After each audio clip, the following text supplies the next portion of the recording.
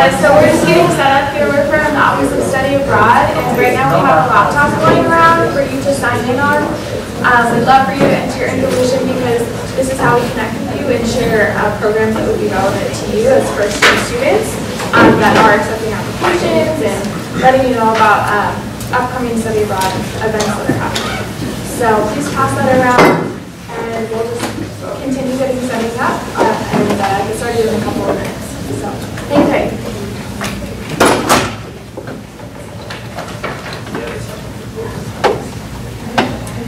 Sure.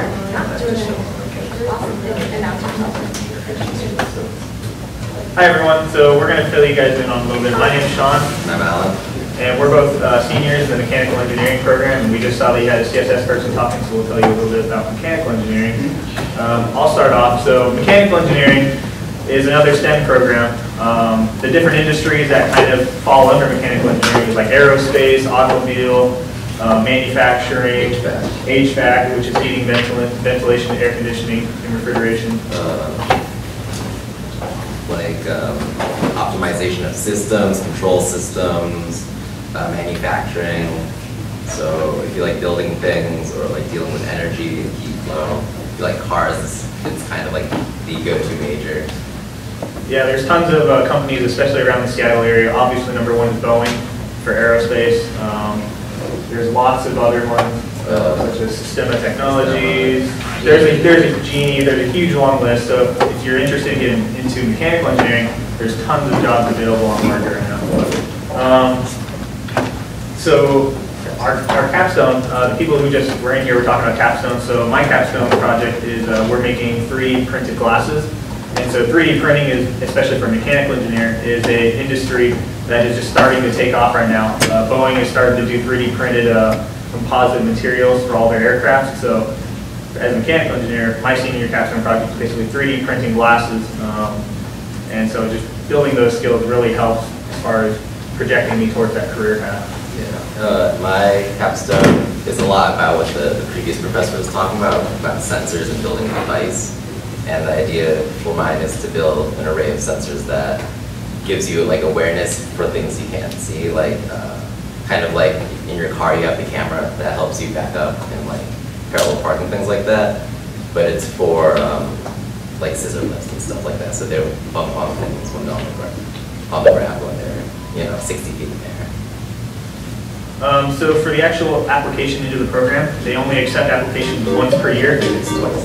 Is it twice now? Yeah, there's the fall and winter. Um, But yeah, the, uh, the application pro- process is really rigorous. Uh, For mechanical engineering, it's basically a five-year degree crammed into four years. Um, So the amount of prerequisites is something like 13, which is insanely high. Um, You really have to talk with Charlotte, who's the mechanical engineering advisor, to really plan out what classes you want to take. If you don't have it figured out from the start, then you're going to be pretty far behind, so.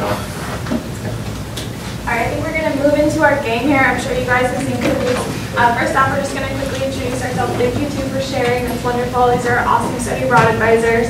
Uh, my name's Anna, and I work in the Office of um, Study Abroad and help out with uh, logistics for helping these programs run smoothly. Um, my name is Jennifer Mendoza. I'm a current um, student study abroad at Leicester. Okay, and so you may or may not have played this game before through our orientation session. Um, it's definitely different this time, so we have some new material for you, but it's uh, a wonderful way to stay engaged in our presentation. Uh, please pull out your phone and uh, go to kahoot.it on your web browser, and then log in this game pin at the very top of the screen, usually 382953, um, and please choose a name that is appropriate.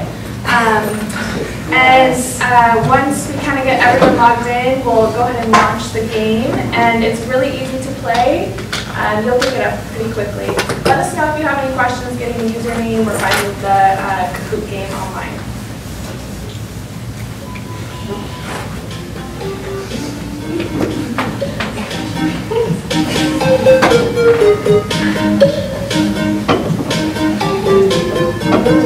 Thank you. steps.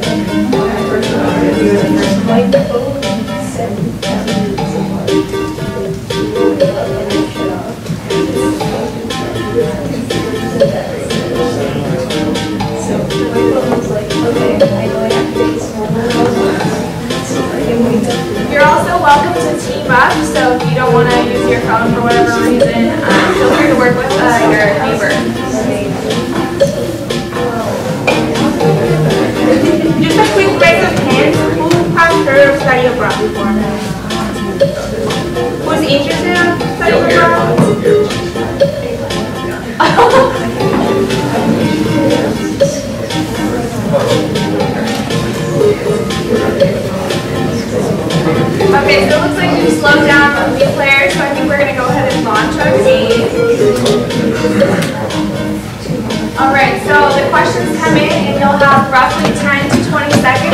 Respond on your. So we'll read the question to you and then respond with the answer that correlates with the question on the screen. All right, do you have any questions? Are you ready to play?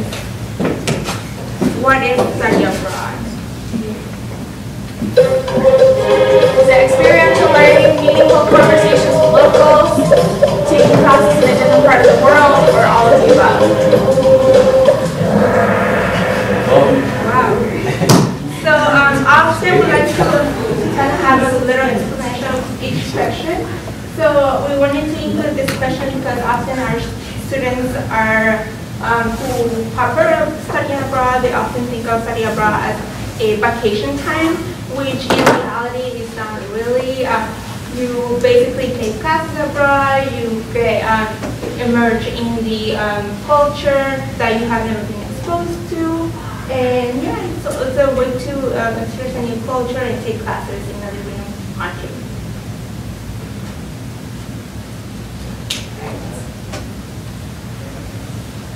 Cool. Question number two. How do I get started with study abroad?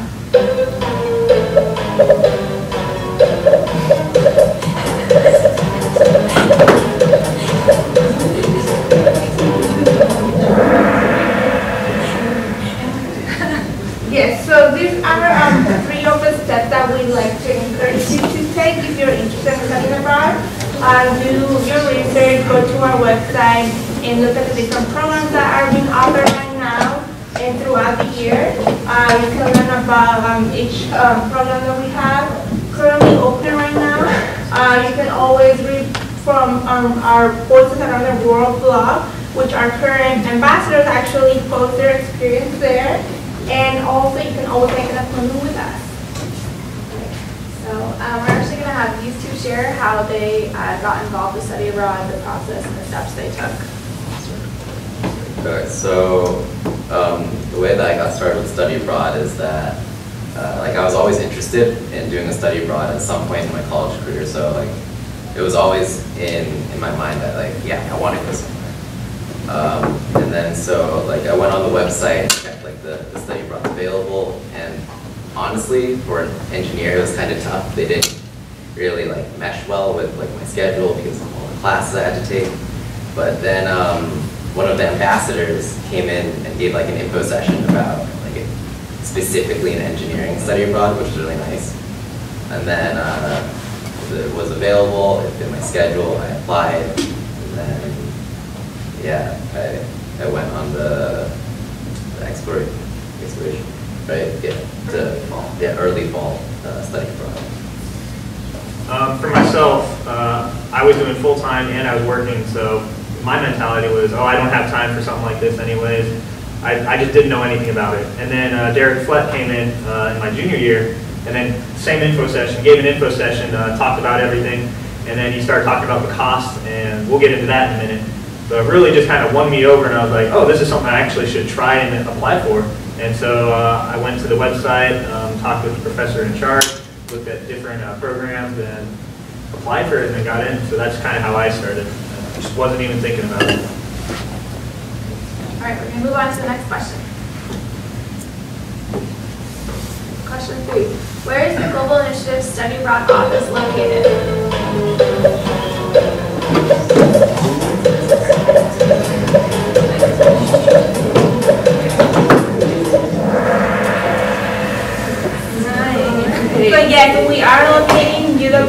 So um, we are locating the um, Student Success Center. If you don't know where that is, it's basically in this one, you enter to the main door, and you see that big desk with the W, uh, so that's the um, welcome desk. To your left, you're gonna find the Student Assistance Center, and you can, um, if you have a quick question regarding studying abroad, you can come and we can help you answer the question.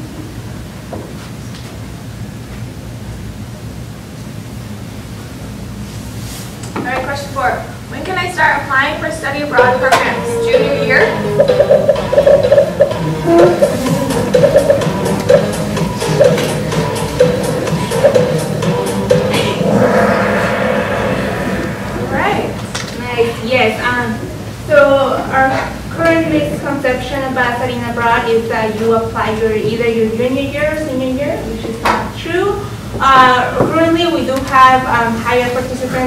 Um, uh, in our junior year, juniors and seniors, but we we're trying to change that. We're trying to encourage um, uh, first years and second years to apply early. Um, like uh, in your first two years, you have your your schedule is more flexible, so you are not in your major yet, so you have more time to look at the programs and um, go abroad. Compared to when you are in your major, um, your schedule is more um, tight, so you don't have much space to study abroad. So we encourage you to apply um, earlier rather than later.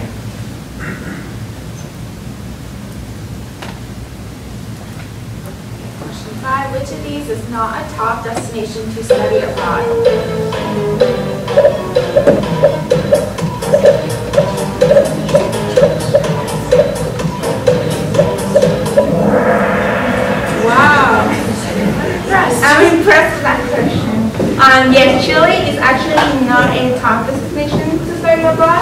But that doesn't mean that we don't have programs there.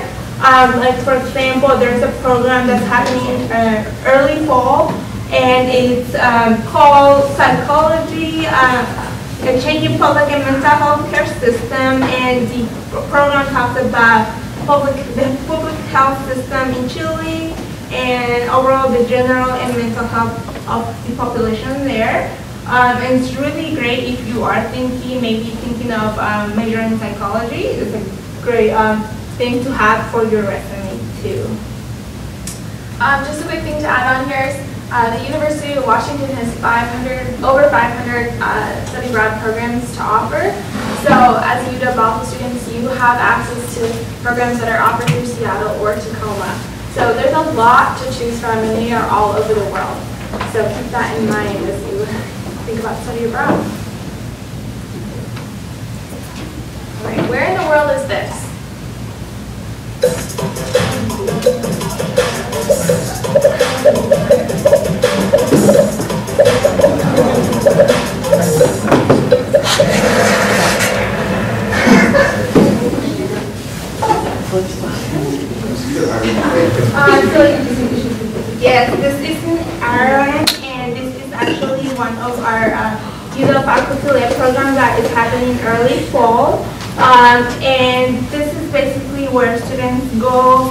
And um, spend two weeks in Ireland, in the rural area of Ireland, and students actually e- explore the question of how has rural Ireland um, adapted to the changing global economy and maintain their cultural heritage.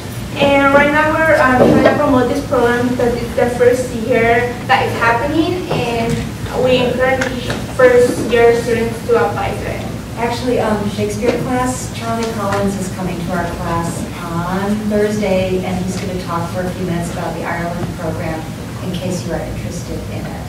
Yes. So yeah, if this uh, piques your curiosity, applications are due on February 15th.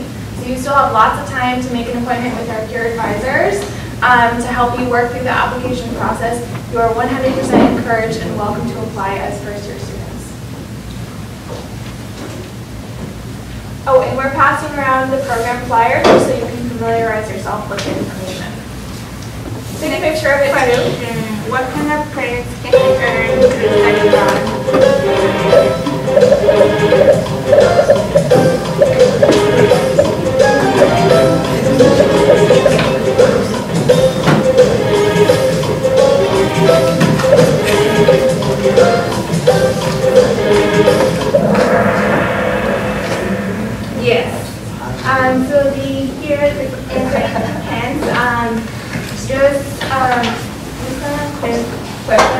Everyone here familiar with this credit? Yeah, no. Um, Everybody give a thumbs up if you are familiar, and give a thumbs down if you're not. I've seen it before. Alright. Okay, um, so yes, um, so when you, for example, the, um, flyer that's going on around, um, the classroom right now, um, whenever you run into a flyer around campus, uh, you can look at the description that it has, and usually it tells you the type of credits that you're gonna be earning. Not all the programs are the same, some of the programs are gonna be offering, uh, natural work credits, some of them are gonna be offering the LPA credits. Uh, but it depends on the program, um, all of the programs are different.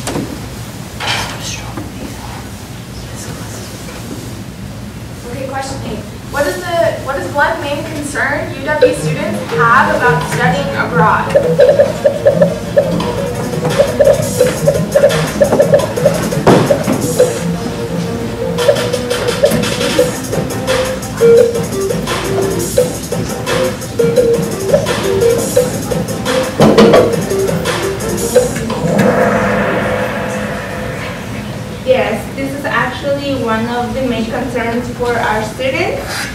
But what often doesn't get talked about is that uh, if you receive financial aid, you can actually use that to pay for the program fee. Uh, there's also scholarships available to you. We have the UW scholarship that's integrated with the application process. And there's also the UW Bothell scholarship, uh, which they are going to be talking a little bit more about that. Yes, I'll talk about that. So like I said, the first thing that I, I saw was like, oh, uh, Jared Flett mentioned the price. So for Japan, uh, the price that he spoke off the top of the head, he was like, oh, it's four thousand dollars, and that covers everything. And I was just like, whoa, that is like way too much money. I'm, I don't even have enough money for that. But um, he mentioned all these different scholarships, and so there is the study abroad scholarship, which is being an ambassador like us. Um, there's also the general scholarship from UW. There's the STEM scholarship, and then there's just general financial aid. So I went out and I just applied to like every single one of them. And I actually got, I actually ended up paying zero dollars for my study abroad trip because I got all these different scholarships. Um, so I was like, sweet, let's go. And I even, um, I even told the program when I was applying, I was like, hey, I'm, I'm working and I don't have enough money.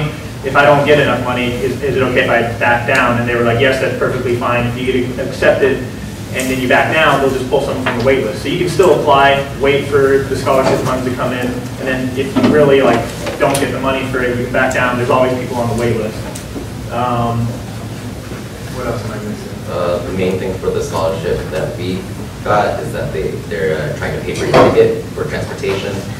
Um, so whatever, uh, the ticket costs, uh, they'll match the price um, if you get the scholarship this video. Yeah, that's a good recap of it. So, uh, as UW Bothell students specifically, we have a scholarship that can be awarded to you if you apply for a UW Bothell study abroad uh, scholarship. And these two are ambassadors because they were awarded this scholarship. So we have an ambassador program, you get to do fun things like this and present, and you're also awarded, um, the idea behind the award is to offset the cost of your airfare. This is a huge, typically a huge amount of money, um, in addition to the program fee, um, is your airfare expense. So we have this scholarship offered with the intent to offset that cost. Um, we have a question in the back. Um, if you're going to a place that speaks a different language and you're not really like too keen on that language, are we gonna have like some representative or are we on like our own? Uh, it depends on the program. Um, sometimes your faculty lead, if you go on a faculty-led program, will be able to um, speak the language. Oftentimes TAs are brought on to help with that uh, specifically. Um, if you're, it depends on the program you go on. So if you sign up for a program that's an exchange program, which typically means you're the only one from the University of Washington attending classes in a different country, th- then those classes will most often be spoken in a different language. But more than likely, if you attend, uh, like if you do a faculty-led program, someone on your team or a couple people, like a couple different students will be able to speak the language. Um, just depends. Question? All right, so you mentioned the exchange having, uh, specifically having it taught in a different language. What I wanted to confirm was whether or not, like, you're able to check if the courses taught are spoken in English or a different language. But Probably won't be able to take any philosophy courses in a different language. So I was just wondering, um, wanting to know if most of the courses that are listed on the study abroad things are taught in English, where, and you just, you're on your own, you live in the, in the area a different language, or if it's taught in that language, and you should take that into consideration, you take that into consideration when you do the courses. Uh, more often than not, they're taught in English. All right, we're gonna keep moving on. Just to add on one more thing, I was, I forgot to mention this about the uh, scholarships. So for our group, there were about 14 of us who went, and nine of us got the study abroad scholarship. And that's only because nine of us applied to it. So what I'm trying to tell you is that every single person who applied for the study abroad scholarship got it. Um, Apply for the scholarship, just go for it. Yeah, Just go apply for for it, it. you guys got this. Yes. Smart. I 100% agree with that. We need more masters. Yeah. Next question, which of these is a program led by the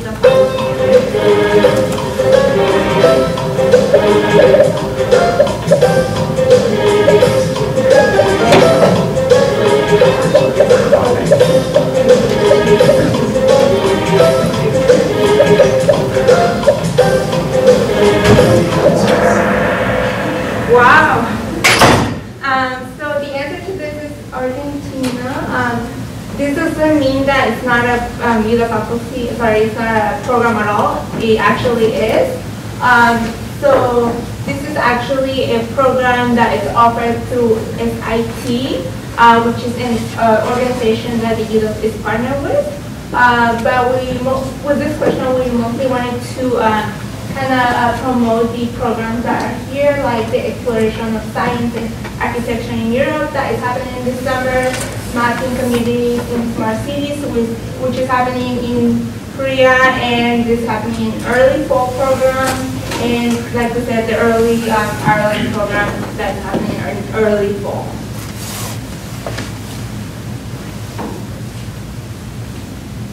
All right, question ten, where is, where in the world is this picture taken?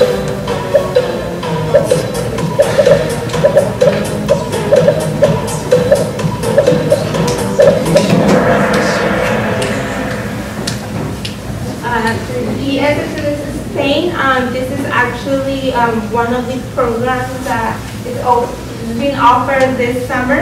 It's actually the Politics of Soccer in Spain. Um, And this basically is a 12 credit um, program and um, the program focuses on um, race, gender, and nationalism. And you get to take Spanish classes and also work on a research project as well. Um, so this, uh, this program is accepting incoming first-year students, so that means you. Um, if you're interested in studying abroad this summer, the application deadline for this program, um, the politics of soccer in Spain and beyond, is um, February 15th. Yeah. I lied, January 31st, my bad. January 31st, you still have time. So we're gonna hand this flyer around, take a picture of it on your phone if you want to get the information.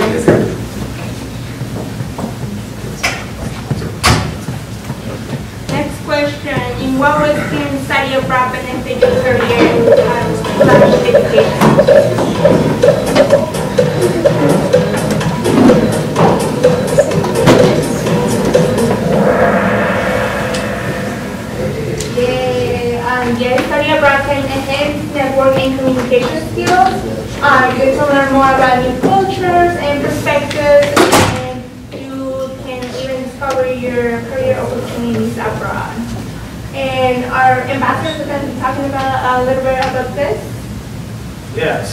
Particular uh, study abroad that we went on to was uh, sustainable energy systems in Japan. So basically kind of energy such as uh, solar, wind, um, hydro, nuclear, uh, natural gas, so talking about different energy systems. And so as a mechanical engineer, we studied like thermo, uh, thermodynamics and things like that. And so we basically, in a year of uh, kind of school at UW, we studied all the math and everything behind it. And so going on the study abroad, Um, It focuses a lot more on the kind of international community, sort of political, moral kind of motive behind the design of different systems uh, in different countries as well as in America. So that was just a, a big difference. I felt like I learned more in the four weeks uh, on the study abroad than I did in the entire year at UW, you know. There, it's, you really just getting into the culture and getting into the actual kind of community compared to just reading out of the textbook. You just learn a lot more and you soak it in a lot better. Um, Trevor? Oh, uh, yeah, so like going on the study abroad and you're going to another country, so it kind of changes your way of thinking. And so that really helps when you're like trying to do problem solving and stuff like that. Like how can we do this and like what's a better way or what's a different way? Because when you're just like here in America, we have that, you know, America-centered way of thinking. And study abroad really like helps you get away from that. Uh, on the career side of things, you know, anything that helps your uh, resume stand out is good. So uh, the couple times I've gone to like a career fair, all the, the recruiters are like, oh, you went on a study abroad, talk about that. And like, oh, what was it like going to another country? What did you learn there? So like, uh, it's always like a good like jumping off point for when you talk to recruiters and stuff like that. I second that. All right, we have one more question for you before we wrap up our presentation. All right, where is this image taken?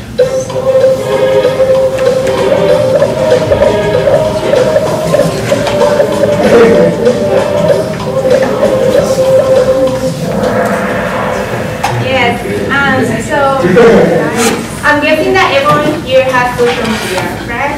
No. Um, so if you don't, but, uh, we wanna promote our social media, you can follow us on, uh, the UW Study Abroad on Instagram and also on Facebook. And, um, that way you can learn more about the different, uh, events that are happening in our campus, or the different programs or scholarships that we feature on our page.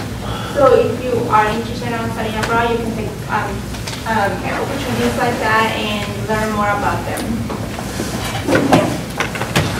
Um, so, yeah, So, the, the laptop that we need to sign in. right, did it, did it skip? Yes. Oh, okay. Who's got the laptop? Yeah. Okay, finish up with it and then Yeah. pass it down. Alright, um, so we have handouts for, uh, if you're interested, if you kind of know what major you want to go into, so major specific programs. Um, so we can do that, but I, we're kind of up against time here, so that's pretty much our presentation. If you want to raise your hand, we can come to you and hand out a major specific program, or handout, um, like we mentioned before, we're UW 1 and 160, the Student Success Center space. Stop by, we have drop-in advising hours, Monday, Wednesday, Friday, 12 to 2. Come and ask us a question, we're here for you. Thank you so much, we appreciate you listening to our presentation.